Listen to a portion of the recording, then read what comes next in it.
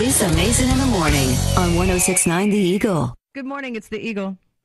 Uh, good morning, Lisa. Hi. Uh, you ready to play Elton John or Princess movie? I'm ready to give it my best shot. All right.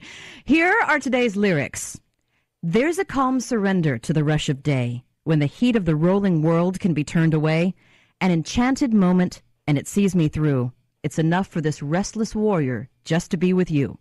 Elton John or Princess movie? Well, it's definitely a princess movie. No, no, it is not a princess movie. Yeah, it is too. No, it's from the- not a princess movie, it's from The Lion King. which is not a princess movie. He married a princess. No, he did not. He married. He didn't even marry the lion. They just kind of hooked up. It's Lisa Mason in the morning on 1069 The Eagle.